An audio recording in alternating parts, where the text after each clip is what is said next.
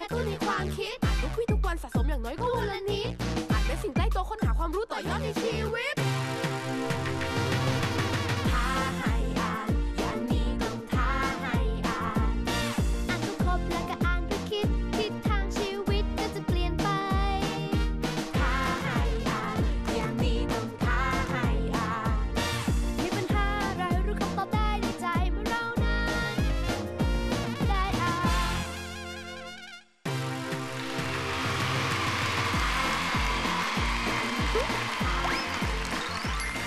วัสดีค่ะ ขอต้อนรับเข้าสู่รายการท้าให้อ่า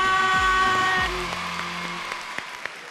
ามเช้าแบบนี้ ครับเรามารับคำท้ากันเลยดีกว่านะครัคะ บ อ่านกันให้สนุกนะคะ แล้วก็ยังมีเรื่องราวความรู้รอบตัวแฝงเข้ามาด้วยในรายการของเรานะคะเพราะว่าคำถามของเรานะมีหลากหลายนะมีอ่าทั้งข้อคำถามหนึ่งจากหนังสือโจทย์นะอ่าในข้ข้ออหนึ่งสองข้อสองเป็นคำถามอ่านสดไงข้อสามข้อสามนี่คำถามสร้างแรงบันดาลใจเลยมีพาไปสถานที่ต่างๆ ก็มีอืมพาไปเจอบุคคลก็มีพี่ๆหลายๆคนอ่าก็ครับ มีเหมือนกันแล้วตัวนะคะเลือกมากขึ้นเอาตัวเลือกมากขึ้น ไปสองข้อไปสามข้อไปสองไปสี่สาข้มอแต่ว่าวันนี้เราจะเล่นเพื่อให้โรงเรียนบ้านวังอาบชามิตรภาพที่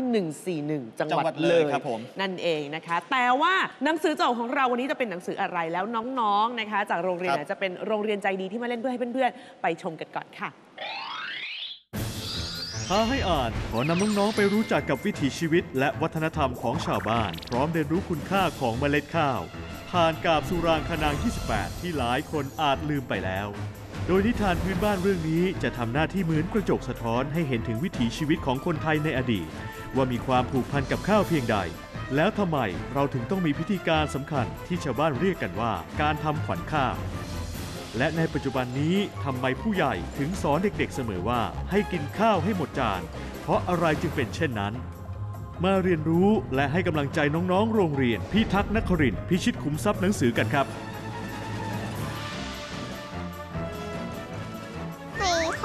กี่ยวกับข้าวอะค่ะ คิดว่าข้าวช่วยให้เราแบบมีเรี่ยวแรงแล้วก็ทำให้เราไปไหนมาไหนได้ ปกติหนูน่าจะกินประมาณล้านเมล็ดเลยอะค่ะ พอผมอ่านนิทานเรื่องนี้จบผมก็ไม่เคยกินข้าวเหลืออีกเลยครับเพราะผมรู้แล้วว่าชาวนาเนี่ยทำขยันทำข้าวมากเลยครับ พวกเราชาวพิทักษ์นครินจังหวัดปทุมธานี พร้อมที่จะพิชิตขุมทรัพย์หนังสือแล้ว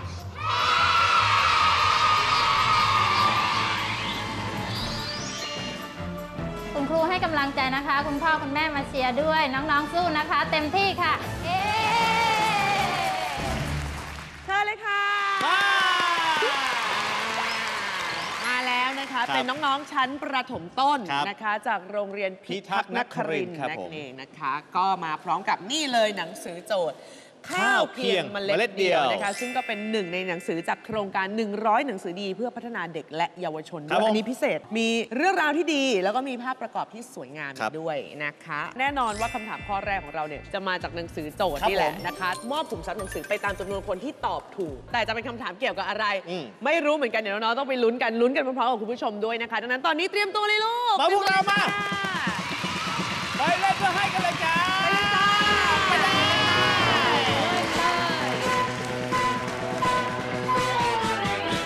เริ่มต้นกันเลยนะคะสำหรับคำถามข้อแรกซึ่งมาจากหนังสือโจทย์นะคะ ข้อนี้มีตัวเลือก 2 ตัวเลือกด้วยกันนะคะ อันนี้มาแบบเป็นคำๆมาก่อน ถึงเวลาท้าให้คิดค่ะ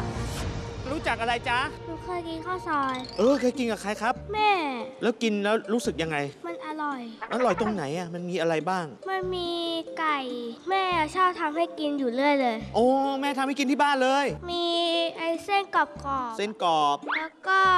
น้ำพริกเผาอะมีน้ำพริกเผาด้วยอะอะไรอีก แล้วก็ผัก เช่นผักอะไรครับ ผักชีใส่ผักชีด้วยอ่าผักชีโรยหน้าอ๋อโรยหน้าอ่าแล้วผักก็ผักคะน้าใส่คะน้าด้วย โอ้เออเออเออเออเริ่มอร่อยแล้วเริ่มอร่อยแล้วนอกจากผักแล้วก็มีหมูกระดูกหมู ใส่กระดูกหมูด้วย โอ้ไอ้ที่กระดูกหมูเนี่ยมีเนื้อหมูติดไปไหม มีนะไม่ใช่กระดูกอย่างเดียวนะเออแล้วสีหนูคล้ายกินกันสองชาเลยทำไมต้องกิน 2 ไม่อิ่ม ไม่อิ่มหรือมันทำหกอไปชาร่มอยไม่ได้ทำหกชามนึงนะอ๋อกินด้วยความอร่อยเออ ข้าวเม่าทอดคือที่เขาไปขายกันที่โรงหนังนะครับ มันเออ จะมี 3รสครับ มีรสเนย แล้วก็รสปลาซาบะแล้วก็รสบาร์บีคิวครับ ข้าวเม่าเนี่ยนะ ครับ มีรสปลาซาบะด้วยเหรอ ครับเฮ้ย มันเป็นลักษณะไงอะพ่อเขาบอกว่านี่มันเป็นรสปลาซาบะไม่ใช่รสเนยครับ ตอนที่ผมไปดูหนังกับพ่ออะครับ ที่ดูหนังก่อนที่จะเข้าโรงหนัง มีขายใส่ถุงกระดาษ ครับถุงกระดาษที่เป็นการ์ตูนนะครับป๊อปคอร์นแปลเป็นไทยว่าข้าวเม่าทอดข้าวเม่าทอด ระหว่างที่เราดูหนังไปแล้วก็หยิบไอ้ป๊อปคอร์นข้าวเม่าทอดเนี่ยกินไหมงาบงาบรสปลาสบะเลย ครับโอ้แต่แม่ซื้อรถเนยครับ แม่ซื้อรสรสเนย ครับ โอ้ข้าวตูคือข้าวตูคือข้าวที่ทำตรงประตู เมื่อไหร่ที่ทำตรงประตูเมื่อไหร่เรียกว่าข้าวตู รสชาติเหมือนกันเลย ค่ะหุงกลางบ้านเรียกว่าข้าวสวย หุงหน้าประตูเรียกว่าข้าวตูคำถามฟังจากพี่ทรายครับผม คำถามมีอยู่ว่าข้อใดนะคะที่ทำมาจากข้าวที่เหลือก้นหม้อนะคะ ระหว่างกอไก่ข้าวตูค่ะ หรือว่าขอไข่ข้าวเม่าทอดค่ะ ดูจากหน้าตาของอาหารแล้วคิดว่าข้าวตูหรือข้าวเม่าทอดกันแน่ ที่ทำมาจากข้าวที่เหลือก้นหม้อถึงเวลาท้าให้ตอบค่ะ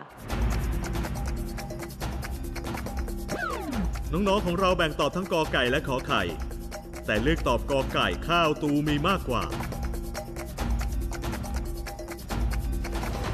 เลือกแล้วเรียบร้อยนะคะอะเพราะว่าข้าวเม่าทอดมันมีผงที่มันเป็น ขุยขุยที่ทอดแล้ว คือข้าวก้นหม้อใช่ไหมฮะ ค่ะมันไม่เป็นเม็ดแล้วไงฮะอ๋อออเศษเศษเศษเวลาเศษขูดออกมา มันจะเป็นเศษๆแบบนี้ ค่ะ แล้วเข้าเอาไปทอดไงครับ อ๋อ มันลักษณะแบบนี้ และไอ้แท่งๆนั้นมันจะเป็นข้าวก้นหม้ออย่างไงครับเป็นขนมครับ ขนมที่ใส่รวมกับข้าวไว้ครับเขาจะเอาไปทอดรวมกันครับขนม อ๋อคนละมาคลุกส่บวนกันข้าวไอ้ที่ติดอยู่ข้างบนเม็ดเม็ดๆนั้นนะครับ เป็นข้าวครับ ข้าวข้นหม้อครับ อ๋อ ในส่วนนั้นคือขนมมาคลุกกับข้าว ขนมอะไรฮะ ขนมทอดนะครับเขาเอาข้าวข้นหม้อมาทอดด้วยครับ อ๋อรวมๆกันเอาขูดมา แล้วบางส่วนก็ประดับประดาอ่าฝั่งนี้ข้าวตู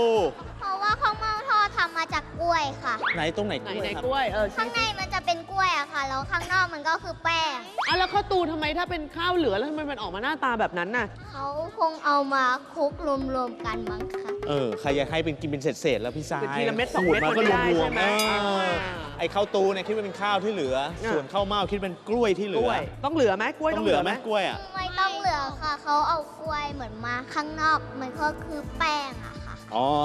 มีกล้วยอยู่ข้างใน ถ้าพี่ไม่มีข้าวเหลือก้นหม้อแต่พี่อยากกินข้าวตูได้ไหมไม่ได้ค่ะ ไม่ได้ด้วย ต้องเหลือด้วย ไปซื้อข้าวมาหุงใหม่ เออหุงใหม่ไงจบ จนได้ข้าวก้นหม้อไม่ได้ซื้อข้าวตูด้วยนะ ให้ไปซื้อข้าวมาหุงแล้วค่อยเอาไปทำอีกทีนึง หุงใหม่แล้วต้องตักข้าวที่ไม่ใช่ก้นหม้อทิ้งกันนะให้หมด เก็บไว้ไปกินนะอยากกิน เอ้าว ตอบแล้วเรียบร้อยนะคะ คราวนี้มาดูกันดีกว่าว่าข้าวตูหรือข้าวเม่าทอดกันแน่จะเป็นคำตอบที่ถูกต้องคำตอบก็คือ จะประเดิมข้อแรกด้วยขุมทรัพย์หนังสือ 22 เล่ม หรือแค่ 8 เล่ม ข้อกอไก่ข้าวตูค่ะรับหนังสือไป 22 เล่มเย้อ้าวขึ้นมาขึ้นมาขึ้นมาข้าวตูเป็นขนมไทยที่ทำมาจากข้าวสวยที่เหลือ โดยนำข้าวไปตากแห้งแล้วโม่ให้ละเอียด แล้วก็นำมากวนกับน้ำตาลน้ำและมะพร้าวขูด พอเย็นก็ใส่ข้าวคั่วบดคนให้เข้ากัน ปั้นเป็นก้อน จัดเรียงใส่หม้อ อบด้วยควันเทียนอบกระดังงาหรือดอกมะลิ ส่วนข้าวเม่าทอดไม่ได้ทำมาจากข้าวก้นหม้อ แต่เป็นการใช้ข้าวเม่ารางป่นกูนกับน้ำตาล และก็มะพร้าวห่อกล้วยไข่สุก และนำไปชุบแป้งทอดอีกครั้ง ผ่านไปแล้วหนึ่งข้อนะครัคะบกับการสะสมคุมทรัพย์หนังสือไปได้ 22 เล่มนะคะ คราวนี้ข้อต่อไปเนี่ยจะเป็นคำถามอ่านสด แล้วก็จะมีการเพิ่มด้วย นั่นก็คือว่าเราจะคูณ 2 เข้าไปนะคะสำหรับจำนวนคนที่ตอบถูกแล้วก็ออกมาเป็นจำนวนหนังสือ ไม่รู้ว่าจะเป็นคำถามอ่านสดเกี่ยวกับอะไรเหมือนกันตอนนี้ให้น้องๆเตรียมตัวเลยค่ะเร็วฮึไปเลยเพื่อให้ข้อที่สองกันเลยไปเลยจ้า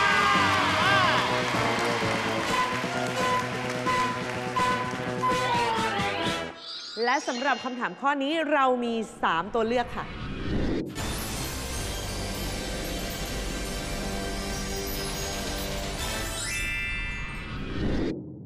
สำหรับคำถามข้อนี้นะคะมาแบบเป็นป้ายนะคะ ป้ายจะเขียนว่าอะไรและจะเกี่ยวข้องกับคำถามของเรายังไง พี่สายฝากไว้กับพี่กบแล้วไปอ่านแล้วท้าให้คิดเลยค่ะ อ่านกันแล้ว ด่วนโปรโม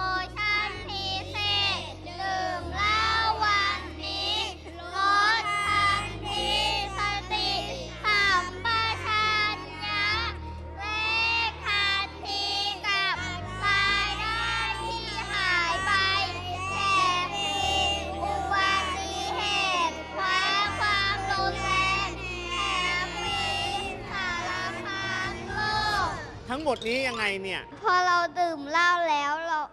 ทำให้เราไม่มีสติอะค่ะ ไหนตรงไหนบอกเรา ลดทันทีสติสัมปชัญญะค่ะ สตินี่คืออะไรอะหมายถึงความระมัดระวังตัว เรามัดระวังเรื่องอะไรครับ อุบัติเหตุค่ะ อุบัติเหตุ เช่นอะไรครับผมเช่น รถคว่อืมำล้อหลุดล้อหลุดด้วยนะเออล้ออะไรหรือว่าล้อติดกับล้อรล้อถเลยติดกับล้อรถอะโอ้โห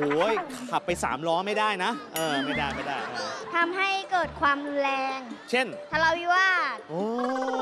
เพราะการเมาค่ะ เออ ไม่รู้เรื่องแล้วนะ เคยเห็นผู้ใหญ่ผู้ใหญ่เมาไหม เคยค่ะ แล้วยังไงอาการยังไง เสียสติ เออเสียไม่สมีติสยังไงติก็คือไม่รู้ว่าตัวเองกำลังทำอะไรลงไปเช่นอะไรบ้างที่เราเห็น คว้างเข้าวของนี่ไงนี่ไงเนี้ยแล้วไม่ดีนะทำไมถึงไม่ดีสำหรับเด็ก เด็กไม่ชอบ เพราะว่าผู้ใหญ่เมาแล้วเสียงเอะอะโวยวายเออ นี่ไง แลกทันทีกับรายได้ที่หายไปก็คือเราเอาเงินไปซื้อเหล้าแล้วทำให้เราไม่มีเงินเหล้าแพงหรือไม่แพง แพง เขาจะกินเหล้าเขาก็ไปกู้เงินคนอื่นมาค่ะนี่ไงกินเหล้าแล้วติดเหล้าไม่มีเงินไปกู้เงินมาอีก ถ้าสมมุติว่าผู้ใหญ่เอาเงินไปกินเหล้าแล้วเราจะขาดอะไร ขาดค่ากินกับข้าวนี่ไงถ้าไม่มีเงินกินกับข้าวเราจะตายเด็กอาเสียชีวิตเลยโอ้ยยังไม่ขนาดนั้น ก็คือแบบว่าขาดสารอาหารได้อะต่อไปแจกอะไร แจกฟรี พร้อมอุบัติเหตุ และความรุนแรงหมายถึงว่า ขับรถอยู่อะมึนหลับอะแล้วไปชนพวกรถอื่นอะ แล้วพอเขาตื่นขึ้นมาเขาก็มาโวยวายแบบว่าใช้ความรุนแรงอะ เออ บางทีไม่ได้ตื่นด้วย บางทีไม่ได้ตื่นเพราะว่าตายแล้ว ใช่เลย มีทั้งตื่นและไม่ตื่น ส่วนใหญ่ไม่ตื่น กระดูกสันหลังไปหมดเลย ระวังกระดูกสันหลังกันด้วยนะครับ คนดื่มเหล้าอ่าฟรีสารพัดโรคก็คือการกินเหล้าอาจทำให้เราเป็นโรคนู่นโรคนี้ได้อะค่ะ เช่นโรคอะไรครับตาแดงค่ะเฮ้อกินเหล้าทกินเหล้าแล้วพอตื่นมามันตามันจะแดงๆอะำคือหนึ่งก็คือตาแดง คือนอนน้อยด้วยอะไรด้วย อันที่สองคือ ระหว่างเมาบางทีมือไปจับอะไรก็ไม่รู้ แล้วไปป้ายตาอาจจะเป็นตาแดงได้เออไปจับพริกก็มาป้ายตาแสบตาตาแดงมีสิทธิ์มีสิทธิ์ใช่เพราะเมาไง เมามองไม่จับพเห็ลินกป้ายงงเลยนะ น้องตีความกันได้เก่งมากเลยครับคำถามจะเกี่ยวกับอะไรยังไงฟังจากพี่สายเลยจ้า นี่เลยค่ะ ตอนนี้ป้ายมาอยู่ในมือพี่สายแล้วนะคะคำถามก็คือ ป้ายนี้นะคะ ป้ายที่เห็นนี้นะคะ ผู้เขียนเขียนด้วยความรู้สึกใด ระหว่างกอไก่ตัดเพ้อขอไข่เชิญชวน หรือว่าคอควายประชดค่ะ ความรู้สึกของผู้เขียนป้ายนี้คืออะไร น้องๆอ่านแล้วคิดกันเครียดเลยครับ ถึงเวลาท้าให้ตอบค่ะ ในข้อนี้มีถึง 3 ตัวเลือก น้องๆของเราเลือกตอบคอควายมากที่สุดถึง 20 คน เลือกแล้วเรียบร้อยนะคะ เชิญชวนยังไง เชิญชวนเพราะอะไรครับผม เขาอาจจะไปชวนเล่นของแพงๆก็ได้ครับเช่นอะไรครับยังไง ให้ไปดื่มเหล้าสูบบุหรี่อะไรพวกเนี้ยครับ เขาเชิญชวนเลยเหรอครับทำไมอะฮะ เชิญให้มีโรคครับ อ๋อ เชิญมา อ่าถ้ามีโลกกันดื่มเยอะวันนี้ฟรีเลยเดี๋ยวให้โลกเลยให้เลยฟรีเออเออเออแล้วคำไหนที่คิดว่าเชิญชวนสุด แถมครับ ฮะ แถม แถมนี่ไงแถม รถแรกแจกยังไม่เท่าไหร่ แถม มันดึงดูดใจ โอ้โหมันทำไมเชิญชวน ทำไมคำว่าแถมนี่สุดยอดละเราได้ของฟรีแล้วก็ดีใจ แถมนี่คือไม่ได้เสียอะไรได้มาฟรีเออเนี่ยรถแรกแจก แถมมาอีก โอ้โห